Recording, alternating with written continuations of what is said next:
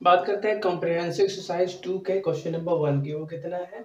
हमको x q plus two x square y minus x y square minus two y q plus four y square plus two x y plus y minus one equal to zero को सारे asymptotes निकालने हैं, ठीक है? तो पहले देख लो इस कर्व का हाईएस्ट डिग्री कितना है तो हाईएस्ट डिग्री कितना है? थ्री तो मतलब हमको इसके क्या थ्री एसिम तीन एसिम्टोट्स मिलने वाले हैं, ठीक है? तो पहले हम क्या बात करते हैं asymptotes parallel to x axis तो asymptotes parallel to x axis की बात करें तो वो कैसे निकलेगा? यक्स का जो भी हाईएस्ट डिग्री वाला टर्म है, उसके कोफिशिएंट को ज़ीरो करके ठीक है?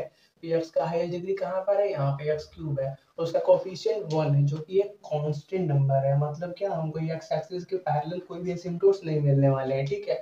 जब कांस्टेंट नंबर मिल जाता है, किसी भी कोफिशिएंट कोई भी कोफिशिएंट जब कांस्टेंट हो जाता है तो उस एक्सिस के अलावा हमको कोई भी एसिम्टोट्स नहीं मिलते, ठीक है? फिर हम बात करते हैं asymptotes parallel to y axis तो वह कैसे मिलेगा यहाँ पे जहाँ भी y का हाईएस्ट डिग्री टर्म है, उसके कोफिशिएंट को ज़ीरो करके, ठीक है तो y का हाईएस्ट डिग्री टर्म यहाँ पर है, जो कि क्या है, माइनस टू, जो कि कांस्टेंट नंबर है मतलब हमको y एक्सिस के पैरेलल भी कोई एसिम्टोट्स नहीं मिलने वाले हैं। तो हमको क्या करना पड़ेगा, ऑब्लिक एसिम्टोट्स निकालना पड़ेगा। उसके लिए हम क्या करेंगे, फाइव थ्री हम निकालेंगे मतलब थ्री डिग्री वाले टर्म जितने भी हैं, उनके अंदर x का वैल्यू वन और वाई का वैल्यू हम रखेंगे, ठीक है? तो यहाँ पे थ्री डिग्री यहाँ पे थ्री डिग्री यहाँ पे थ्री डिग्री यहाँ पे थ्री डिग्री है, ठीक है? तो वहाँ पे करते हैं यहाँ पे की जगह वन रखोगे तो वन का क्यों मतलब वन ही होगा प्लस टू यम मिलेगा माइनस यहाँ पे यम स्क्वायर मिलेगा और यहाँ पे माइनस टू यम क्यूब मिलेगा, ठीक है? तो इसको क्यूब वाले को आगे रखो, ठीक है? Minus two m cube minus m square plus two m plus one इतना आया ठीक है? अब क्या करते हैं, इसको इक्वल टू जब ज़ीरो करेंगे तो वहाँ से हमको यम का वैल्यू मिलेगा, ठीक है? तो ज़ीरो करने से ज़ीरो कर दिया। अब क्या करते हैं, इसको माइनस से मल्टीप्लाई कर देते हैं, ठीक है? क्योंकि हमको आगे वाले टर्म पॉजिटिव बनाना है, ठीक है? तो माइनस से दोनों साइड मल्टीप्लाई करोगे तो ज़ीरो इंटू माइनस मतलब ज़ीरो ही होगा। यहाँ पे माइनस से मल्टीप्लाई करोगे तो ये क्या हो जाएगा two m cube plus m square minus two m minus one square two zero ठीक है? अब करते क्या है रेंडमली अपने मन से यम इक्वल टू यम सोच के एक वैल्यू इसके अंदर पुट करते हैं, ठीक है? तो पुट करो तो यहाँ पे क्या होगा? टू होगा और यहाँ पे क्या होगा? वन होगा, यहाँ पे क्या होगा? माइनस टू यहाँ पे माइनस वन देखो थ्री और minus three zero equal to zero हो गया मतलब यम यहाँ पे सेटिस्फाई कर रहा है। मतलब m equal to one satisfy किया तो यम माइनस वन ये इक्वेशन का एक फैक्टर बन गया, ठीक है? जब सेटिस्फाई कर रहे हैं, यम इक्वल टू वन तो वन को उधर लाओ यम माइनस वन एक फैक्टर बन गया, ठीक है? अब करो क्या? या माइनस वन से इस इक्वेशन को डिवाइड कर दोगे तो आपके पास जो भी बाकी फैक्टर है, उनको निकालने का एक तरीका मिल जाएगा, ठीक है? तो करते क्या है? वो काम करते हैं। यम माइनस वन से two m cube plus m square minus two m plus one को डिवाइड करते हैं, ठीक है? तो पहले क्या करेंगे? पहले कितने टाइम्स लेके जाए? टू यम स्क्वायर टाइम्स लेके जाए। तो क्या होगा टू एम स्क्वायर इसमें मल्टीप्लाई करो। तो क्या होगा? टू एम क्यूब मिलेगा। फिर इसको इस, माइनस वन में मल्टीप्लाई करोगे तो क्या मिलेगा? माइनस टू एम स्क्वायर मिलेगा। सब्ट्रैक्ट करो तो ये माइनस ये प्लस ये कैंसिल ये क्या हो गया? थ्री एम स्क्वायर हो गया। और माइनस टू एम है प्लस वन है। अब क्या करोगे? अब कितने टाइम्स लेके जाए हम? प्लस थ्री एम टाइम लेके जाए। तो थ्री एम इसमें मल्टीप्लाई करोगे तो थ्री एम स्क्वायर बनेगा। थ्री एम इसमें करोगे तो कितना बन जाएगा? माइनस थ्री एम बनेगा। सब्ट्रैक्ट करो तो ये माइनस ये प्लस ये कैंसिल मतलब वहाँ पे क्या मिला हमको? वहाँ से सिर्फ़ बचेगा यम प्लस वन बचेगा। ठीक है? तो अब क्या करते हैं? टू यम माइनस वन है ना? माइनस टू यम यहाँ पे माइनस है। ठीक है? यहाँ पे माइनस है। तो हमारे पास यहाँ पे यम माइनस वन बचेगा, ठीक है? अब क्या करते हैं? वन टाइम्स लेके जाते हैं। तो क्या होगा? वन वन यम में मल्टीप्लाई करो, यम मिलेगा और प्लस वन को माइनस वन में मल्टीप्लाई करो तो माइनस वन मिलेगा। सब ट्रेंड करोगे तो ये माइनस ये प्लस मतलब ये दोनों कैंसिल तो हम क्या करेंगे? इसको अगर फैक्टराइज कर देंगे तो हमको बाकी यम के वैल्यूज़ मिल जाएँगे, ठीक है? तो हमारे पास है क्या? Two m. पहले हमारे पास यम का वैल्यू वन एक आया हुआ है, ठीक है? क्योंकि यम माइनस वन एक फैक्टर था, ठीक है? और क्या है? Two m square plus three m plus one है।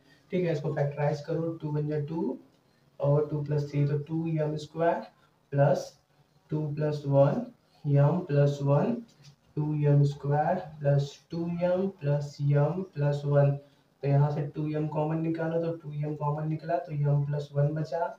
और प्लस वन कॉमन निकालो तो यम प्लस वन बचा। मतलब हमारे पास टू एम प्लस वन मिला और यम प्लस वन मिला एज अ फैक्टर ठीक है? तो यहाँ से यम का वैल्यू क्या मिलेगा? माइनस वन मिलेगा। यहाँ से यम का वैल्यू क्या मिलेगा? माइनस वन बाई टू मिलेगा, ठीक है? तो देखो हमारे पास एक यम का वैल्यू वन आया, एक माइनस वन आया और एक क्या आया? माइनस वन बाई टू देखो यहाँ पे यहाँ पे सभी वैल्यूज़ अलग अलग हैं तो हम क्या कर सकते हैं? सिंपली क्या कर सकते हैं? सी का वैल्यू निकाल सकते हैं। सी का वैल्यू आराम से सॉल्व कर सकते हैं, ठीक है? तो करते क्या है? सी के वैल्यूज़ की तरफ़ बढ़ते हैं, ठीक है? तो सी का वैल्यू कैसे निकलेगा? माइनस फाइव यहाँ पे थ्री डिग्री वाला टर्म है तो ऊपर क्या आएगा? टू एम आएगा। और नीचे क्या? Five dash three m is equal to zero करके, ठीक है? तो टू डी वाले टर्म्स को हमने निकाला नहीं है, उसको भी निकाल देते हैं, ठीक है? तो फाइव टू एम वो कितना निकलेगा? यहाँ पे टू डिग्री टर्म कहाँ कहाँ पे? यहाँ पे और यहाँ पे। तो यहाँ पे वाई की जगह यम रखोगे तो क्या मिलेगा? फोर एम स्क्वायर यहाँ पे करोगे तो क्या मिलेगा? टू एम मिलेगा, ठीक है? एक्स की जगह वन और वाई की जगह एम रखोगे। तो ऊपर क्या मिल गया हमको minus four m square plus two m मिल गया। और नीचे क्या? फाइव डैश थ्री एम मतलब क्या ये जो फाइव थ्री हमने निकाला हुआ है, इसको डिफरेंशिएट करना है। इसको या फिर इसको नहीं लिखा गया हुआ है? फाइव डैश थ्री एम तो जो ओरिजिनल हमने निकाला था, उसके, उसकी बात चलेगी, ठीक है? तो इसको डिफरेंशिएट करोगे तो फाइव डैश थ्री एम मिलेगा। वो कितने बराबर होगा? वन को ये ये तो ज़ीरो हो जाएगा, ये कितना होगा? टू मिलेगा। यहाँ पे माइनस टू एम मिलेगा और यहाँ पे माइनस सिक्स एम स्क्वायर मिलेगा, ठीक है? तो इसको क्या करते हैं? माइनस सिक्स एम स्क्वायर और minus two m plus two लिख लेते हैं, ठीक है? यहाँ तक नोट करो, थोड़ा सा जगह बना दे। तो पहले क्या करते हैं? यम की जगह वन यूज़ करते हैं, ठीक है? यहाँ पे तो यहाँ पे क्या मिलेगा? उसको हम सी वन करते हैं। क्योंकि देखो तीन यम के वैल्यू है, इसको यम वन कर दो, इसको यम टू इसको यम थ्री कर दो, ठीक है? तो पहले m one is equal to one रख रहे हैं, ठीक है? M one is equal to m m one is equal to one रख रहे हैं तो वहाँ से सी वन मिलेगा हमको तो माइनस फोर यहाँ पे वन रखो तो फोर मिलेगा प्लस टू मिलेगा, और नीचे क्या मिलेगा minus six minus two plus two तो कितना हो गया हमारे पास?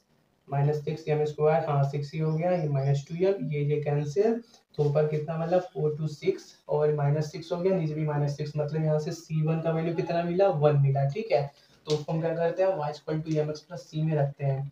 Equal to m x plus c इसे दिख रहा है ना, इसको यम वन एक्स कर दो, इसको सी वन कर दो। तो y equal to m one का कितना वैल्यू है? वन तो यक्स और सी वन का कितना वैल्यू है? वन तो वाई प्लस वन इसको सब लेफ़्ट में लाओ तो y minus x minus one is equal to zero ये हो गया हमारे पास पहला असिम्टोट्स ठीक है?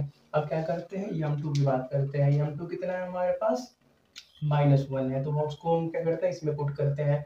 तो सी टू कितना हो गया? माइनस फोर यम स्क्वायर तो माइनस वन का स्क्वायर वन ही होने वाले हैं।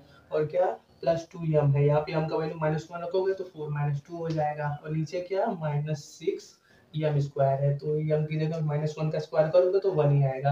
और यहाँ पे यम की जगह माइनस वन रखोगे तो ये वाला प्लस कर देगा। तो प्लस टू बनेगा और प्लस टू ठीक है? तो ये यहाँ पे क्या मिला हमको? फोर माइनस टू मतलब ऊपर माइनस टू मिला और नीचे क्या? फोर और यहाँ पे भी माइनस टू मिला। मतलब यहाँ से भी हमको सी टू का वैल्यू वन ही मिला। तो उसको भी पुट करो। Y is equal to m x plus c के अंदर तो वहाँ से क्या मिलेगा? y is equal to m का वैल्यू माइनस वन तो माइनस एक्स सी का वैल्यू वन तो y plus x minus one is equal to zero ये मिल गया हमारे पास। दूसरा ऑब्लिक वाला सिम्प्रोस ठीक है? इसको नोट करो, थोड़ा सा जगह बना दे, ठीक है? इसको इसको रब करेंगे, ठीक है? उसको नोट करो। बात करते हैं यम थ्री के लिए। यम थ्री क्या है हमारे पास? माइनस वन बाई टू है, ठीक है? तो उसको इसमें पुट करते हैं। तो सी थ्री निकलेगा, हमारे पास माइनस बार है फोर यम टू का यम का स्क्वायर मतलब यम थ्री का स्क्वायर तो वो कितना हो जाएगा? माइनस वन बाई टू का स्क्वायर तो हो जाएगा वन बाई फोर तो फोर बाई फोर कर दो तो फोर बाई फोर हो गया। और फिर क्या? प्लस यहाँ पे क्या करो? यम की जगह कितना रखो? माइनस वन बाई टू तो टू और इंटू में क्या? माइनस वन बाई टू तो ये तो क्या कर देगा, इसको माइनस कर देगा। और टू बाई टू ठीक है? तो देखो यहाँ पे two by two one four by four, one तो वन माइनस वन, ज़ीरो आने ही वाला है। नीचे सॉल्व करो, चाहे मत करो, क्या करना? प्रेजेंट करने के लिए दिखा देना, ठीक है? माइनस सिक्स यम स्क्वायर का वैल्यू यम स्क्वायर का वैल्यू वन बाई फोर तो सिक्स बाई फोर और क्या? माइनस टू यम का वैल्यू कितना है? माइनस वन बाई टू मतलब ये प्लस बन जाएगा two by two plus two ठीक है? इतना दिखा देना लेकिन ओवरऑल ज़ीरो ही आने वाला है, ठीक है? मतलब सी थ्री का वैल्यू ज़ीरो आ गया। अब उसको क्या करते हैं? Y is equal to m x plus c में पुट करते हैं, ठीक है? तो y is equal to m का वैल्यू कितना है? माइनस हाफ़ तो माइनस हाफ़ एक्स सी का वैल्यू ज़ीरो। क्रॉस मल्टीप्लाई करो तो टू वाई और एक्स को उधर ले जाओ तो plus x is equal to zero आ गया। तो ये आ गया हमारा तीसरा फाइनल सिम्टोम्स तो ये हो गया हमारे तीनों सिम्टोम्स नोट कर लो पहला क्वेश्चन